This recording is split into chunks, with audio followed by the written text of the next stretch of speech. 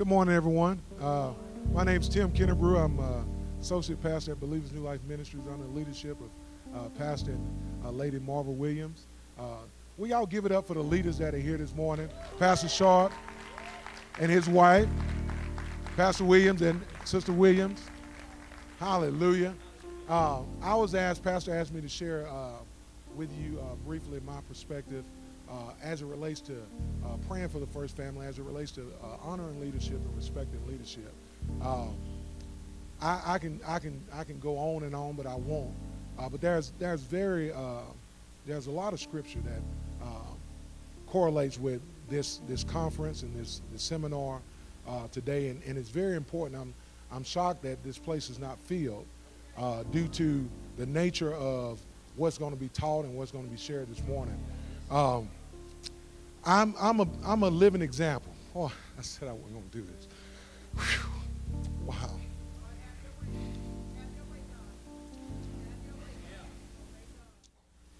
You know, that, that song, We Need the Glory, as, as, as I watched what was going on and as I listened to the words of that song, uh, the Holy Spirit took my mind back. He said, you know, if you, if you reaccount the times when God's glory was manifested, it was as a result of a leader. See, it was, it was a result of a leader, Moses, then Solomon. It was a leader doing what God told them to do, and that blessing or that glory manifested to the people because of what the leader had done.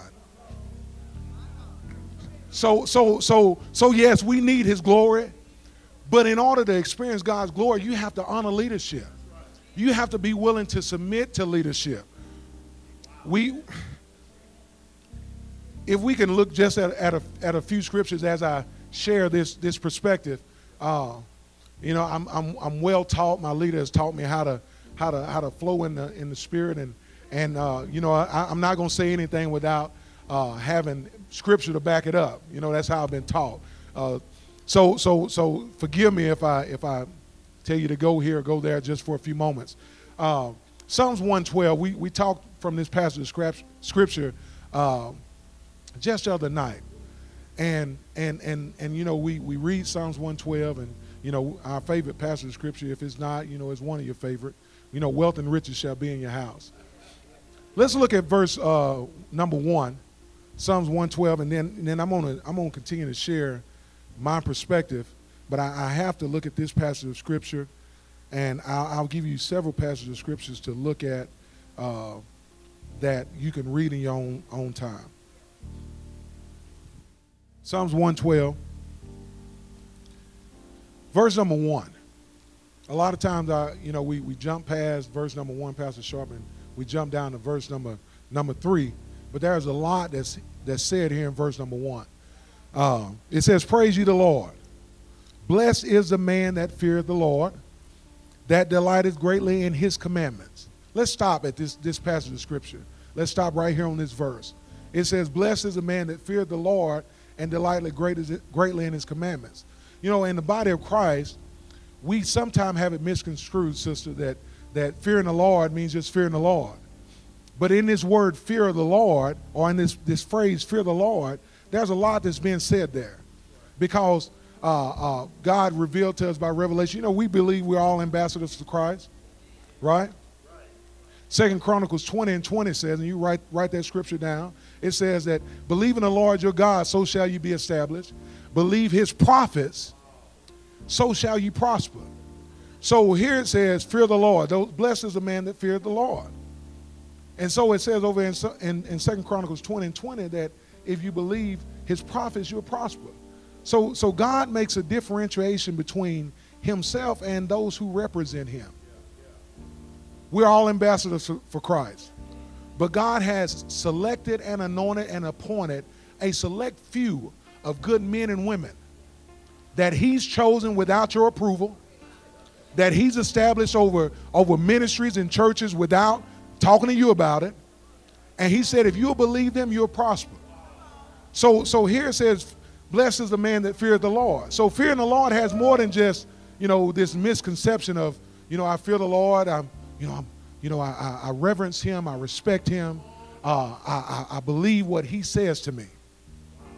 Well, in order to fear the Lord properly, there has to be uh, a reverence and respect for godly leadership. So it says, "Blessed is the man that fears the Lord." So, so, so we can we can input right there in that passage of scripture, you know. And I'm not adding anything to it. I'm just I'm just clarifying what what this this phrase means. Fear the Lord. You have to fear those who represent Him. God is not showing up at your house in uh, in, in in in His natural form talking to you.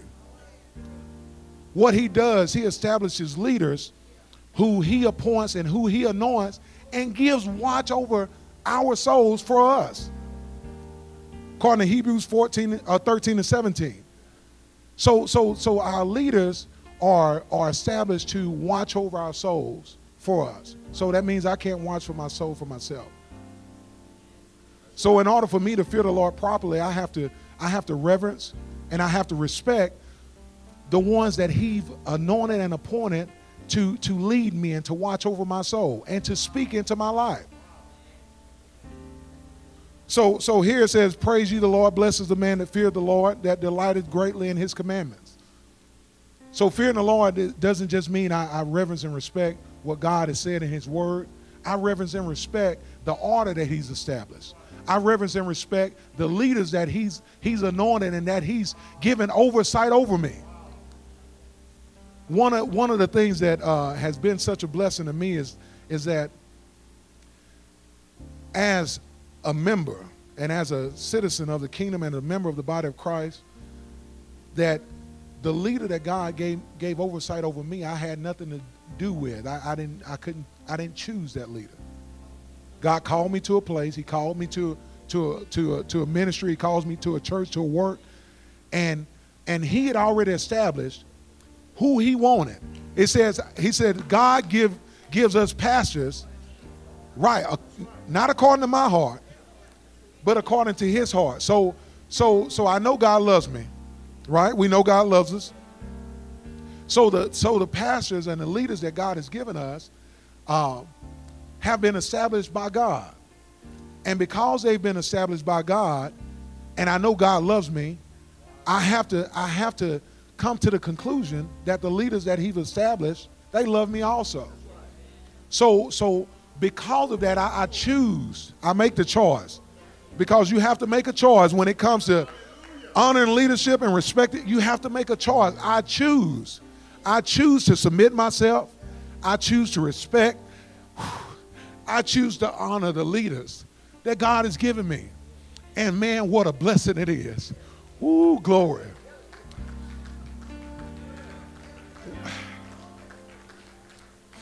What a blessing it is when a, when a man or woman recognizes that it doesn't take anything away from you as a person, as a man, as a woman, uh, as a human being, as a child of God, it doesn't take anything away from you to submit to leadership. Knowing, knowing, let, look over, let's look over at Hebrews uh, 13.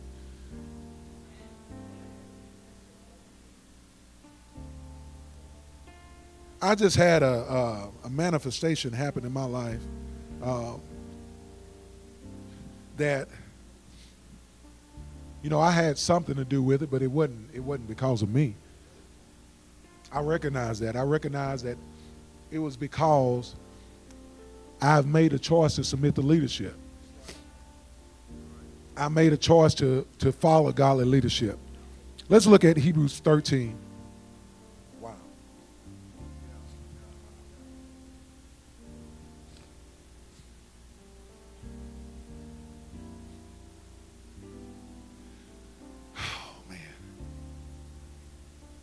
Hebrews 13, verse number 17.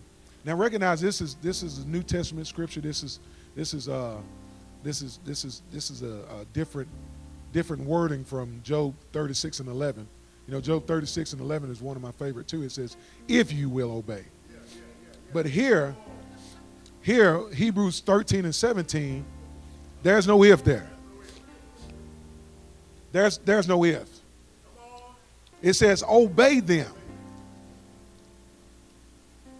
Obey them. that have the rule over you.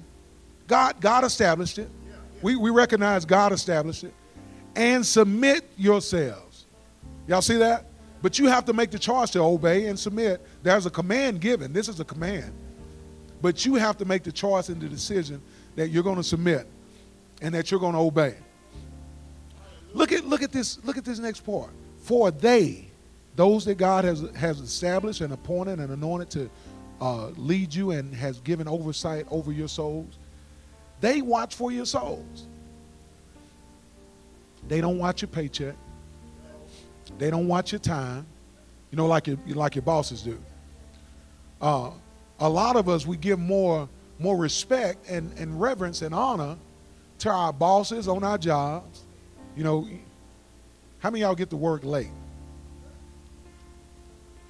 I'm glad that y'all are honest. Y'all get to work late sometimes, but you have to give an account for why you're late, right? You're going to make sure your boss knows why you're late. Most of the time, you're gonna you're gonna either call or send a text or do prior. How many y'all have, have come to church late? All right, I'm not I'm not gonna throw I'm not throwing any stones. I'm just doing a poll. Uh, the question that you ought to ask yourself at this point is: Do I give my leaders the same type of respect that I give my my my employer? Because their job is is much uh, greater. Because it says here, they watch for our souls as they that must give an account, that they may do it with joy and not with grief. For that is unprofitable to us. So, so knowing that, you have to make a decision, we have to make a decision that it's very important that we, we respect leadership, that we honor leadership. Uh, and there's a blessing. There's a blessing here. Let's look at the flip. If they give an account to God and it's not with grief, that means it's profitable to me. And, and it has benefit in this life and in the life to come. But let's let's talk about this life for, for a moment. You know, I, I, I I've served for the last five years at, at my school as assistant principal. Uh, when I applied for the job, there's you know other guys that are more qualified than myself uh, on paper to uh, to be in that position who interviewed for the position, but God chose me. You know uh, the the favor that that God uh, showed me with the staff and with the board and with everyone in the community. God chose me.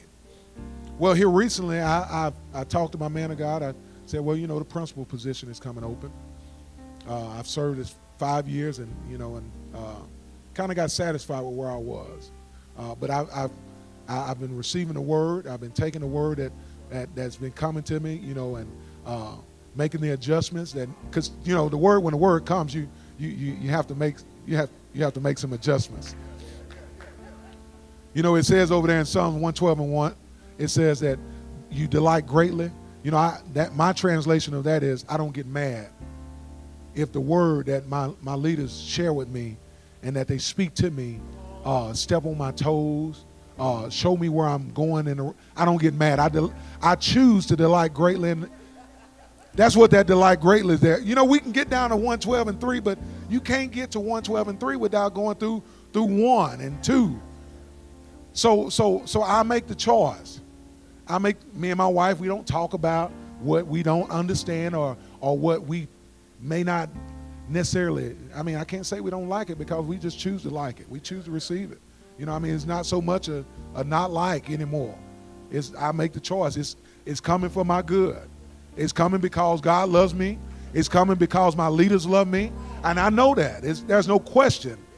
There's no question. That shouldn't be any question in your, your heart at this point about how your leaders feel about you and how much they love you. If you know, like I know, I bet they've done some things for you outside of this church that you you needed and that you deserved and or that you didn't deserve that they just did because they recognized that you had a need or or let's let's let's look at let's look look at this and I'm gonna finish my story and I'm gonna sit down. You know, that's one of the things that, that, that I'm learning. I'm having to learn how to do is, you know, control my emotions when I when I when I minister. It's hard.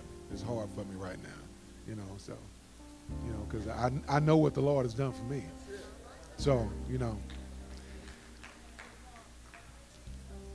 obey them that have the rule over you. That's a command. And submit yourselves, for they watch for your souls as they that must. Y'all see that? That's that's a they have a job to do. They must give an account that they may do it with joy and not with grief, but it, for that is unprofitable to you. That is unprofitable to you. So so I was I was I was sharing my story about you know how I got to where I am. The word the word came to me. It came to me through my leader. I received the word sometimes it, it caused me to have to make some major adjustments, some major moves. You know, I realized through a word that came through my leader that I was sitting back being passive. Quit being passive. You know, uh, you know, move. Do those things that God has called you to do. Uh, so here recently, uh, the, the principal position came open at, at the high school where I, I've, I've been serving for the last five years. And um, and I'm gonna just be be honest and candid and forward with you. Uh, I hadn't finished my master's. I've been I'm working on it. I'm in classes and all that stuff. And uh, you know, I've been told in time past that you know, hey, you don't you you need not apply because you know you hadn't fulfilled that requirement. And so you know, I just kind of sat back and. Uh, and so after after consulting with my leader, uh, the decision was made that I would go ahead and apply. And so uh, I applied, and I think, think there was 10 other people that applied. They all, you know, had, had everything squared away. And um, But when you, when, you, when, you, when you submit and you respect and you honor leadership, it don't matter. It don't matter. And, and I'm not speaking by faith. I, I mean, the, the, the, the manifestation has occurred. I mean, it's done. It doesn't matter what anyone else has to say about it. You can take the word that God speaks to you through your leaders to the bank. You can take it, I'm telling you, you can take it for what it is. And and 1 Thessalonians 2:13. Y'all, y'all know that passage of scripture. You know, we thank God without ceasing that, you know, when you receive the word that you heard of us, you received it not as the word of mere men, but as it is in truth, the word of God. And and and when you do that, it says in that passage, let's look over there. Let's let's look over there. Real quick. I hope I'm not taking up too much time, Pastor Sharp.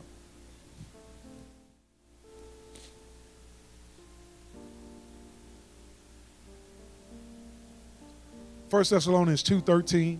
It says, For this cause also thank we God without ceasing. This is the leaders talking. Y'all know who's talking. This, this, it's the leaders. They've, they've been sharing the word. They've been telling them what God has given them to say, and you know, uh, and and the people are receiving. When you receive the word of God, which you heard of us, you received it not as the word of mere men, or word of men, and amplified it says mere men, because your leaders are not mere men or mere women. But as it is in truth, the word of God which effectually worketh also in you that believe. Let's look at that verse out of Amplified Bible. 1 Thessalonians 2.13 out of Amplified Bible says, and we also especially thank God continually for this. Man, look at look at what it does to your leaders. Your leaders are, are excited and they're, they're happy when you receive the word that God has given them to make your life better. The word that comes to us through our leaders is designed to make our lives better. So it says that when you receive the message of God, which you heard from us, you welcomed it. You welcomed it. You know, it's not just, you wasn't you didn't just receive it, you welcome it. It's like with with open arms. I'm taking what they're saying because I know it's coming out of a heart of love, out of God's love for me and out of their love for me. And they're telling me what God is wanting them to tell me because they want my life to be better. And God has revealed to them what I need to know for my life to be better. So it says that you welcomed it not as the word of mere men, but as it truly is, the word of God. You didn't you didn't look at them as just Pastor Sharp and Sister Sharp. Uh, you didn't just look at them as you know well that, they a man just like I'm a man. No, no, no, no, not the same, not the same, not the same. Wow. You welcomed it not as the word of mere men, but as it truly is the word of God, which effectually which is effectually at work in you who believe. Look at this last portion of the scripture. Exercising. Talking about God's word. Exercising is superhuman power in those who adhere to, trust in, and rely on it. But you have to receive it through the leader. You know, you can go in your prayer closet and you can pray. I, I, I hope that you do that often. But God ain't going to speak to you a whole lot in your prayer closet. If that was the reason, He wouldn't have gave you a leader. See, it, see, it takes, I can say it because I've, I've humbled myself to the point where I realize that I don't have to go to my prayer closet to try to hear from God. No. Sunday, Tuesday, Thursday, casual conversation or serious conversation. If my man of God make a suggestion to me, I recognize that that suggestion come from God. See, y'all, y'all ain't, y'all, y'all not saying anything. That that suggestion, because when you have leaders of such caliber, like Pastor Sharp and Sister Sharp and Pastor and Sister Williams, they're not making any moves.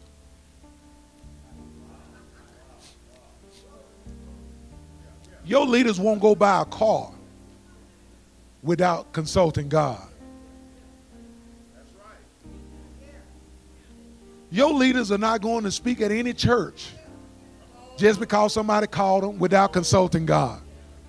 Your leaders are not going to even speak to you what you want to know at that time if you ask them a question without in their heart or at a different time saying, okay, I'll get back to you without consulting God. Because they understand the charge that's been given to them. And so in the body of Christ, it's time that we recognize that, man, when you got good leaders, you recognize it. They understand, they know. So when they do speak, I understand, man, I, have been around them and I've, I've received uh, instructions and directions to the point, and I've seen the results occur in my life to the point where I know there's no question, no doubt in my mind whether or not they heard from God or spoke to me what God said. I know it without a shadow of a doubt, and can't nobody tell me any different. Can't no bootleg preacher down the street tell me anything different. Some of y'all been listening to some bootleg preachers. Listen to your leaders. You have leaders that hear from God for you. And, and your leaders are not going to lead you wrong. Where you are, I, I can guarantee your life is better than what it's ever been. Because I know my life is better. Y'all got good leaders. We all we have good leaders. So it says here, you receive the word not as the word of mere men, and, and because you believed it, it says it exercises its superhuman power in you who adhere to, trust, and rely on it. So let me let me go back to my story and I'm gonna I'm gonna sit down.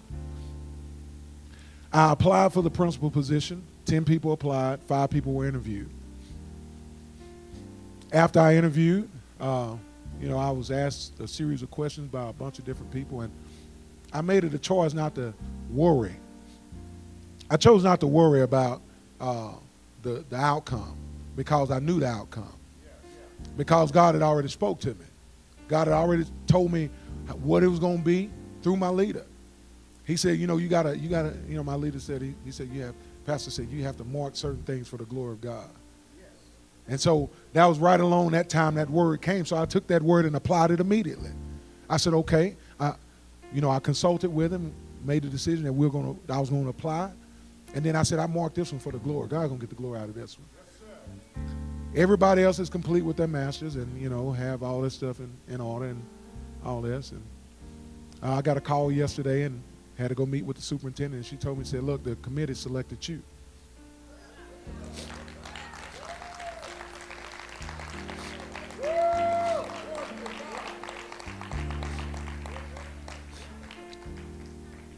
See, but I know why. I know why. I know why the favor is working in my life. I know why God is exercising his superhuman power in my life. I know why. I, I know why these things are happening. Because this, I, I see it in the word. I'm taught, I've been taught it. My leader has taught me, look, if you if you receive the word, if you receive the word, man, and it doesn't take anything from you. I'm not telling you not to go pray and, and seek God. I'm not, I'm not telling you not to do that. But you have to you have to be mindful to consult. See, in the multitude of counselors, there is safety. You know, that's that was in the Old Testament. I would say in the council of your leaders, there is safety. You ain't got to go to a whole bunch of folk. You know, the Old Testament got you thinking you got to go to, you know, this one and that one and the other. You know, and and I understood what the context of that scripture. But but in in in this day and age, and in this house and in Believers New Life Ministries, you have leaders that that that seek God, that man, your leaders up all time of the night praying for you. Sometimes it's not it's not joyous. A lot of times it's not joyous. You know, my one of my one of my uh, greatest ex- expectations or hopes is that uh, anytime my man and woman of God have to go to God for me, they can do it with joy in their heart knowing that I'm, I'm, I'm, I'm doing my best to do everything that they're, they're instructing us to do, uh, they're telling us to do, uh, that they're suggesting to us to do. Uh, I'm, I'm listening, I'm receiving the word that comes to me through them. I recognize them as, as God's representatives because everybody don't speak on behalf of God. You may be an ambassador, but that don't mean you speak on behalf of God or Jehovah you're an ambassador for Christ, but your leaders speak on behalf of the Almighty, the Father of our Lord and Savior Jesus Christ. So so so so let's not let's not get it confused when we start talking about, you know, well, I'm an ambassador for God, Christ, I represent him in the earth. But you at this point in your life and where you are, you don't represent God to, to anyone else. Your leader represents God to you. Y'all got quiet. Y'all. So you mean to tell me that I ain't making God out of your pastor? I'm saying your leader represents God. Represents. Represents God. So so because my leader represents God, the same respect and honor I give to God, I give to my leader. Now I worship God. I praise him. But I do give honor and respect. See y'all.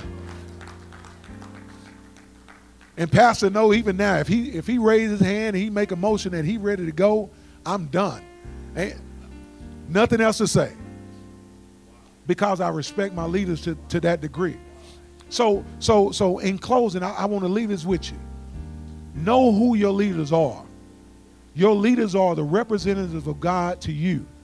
And the word that they speak to you is the word of God. And if you'll take that word and believe it and apply it to your life and not get mad at it, choose to delight greatly in that word. You can you can bank on wealth and riches being in your house. You can bank on God exercising his superhuman power in your life because you honor, respect, and you reverence leadership. Thank you for this opportunity, Pastor Sharp. Uh, thank you. God bless y'all.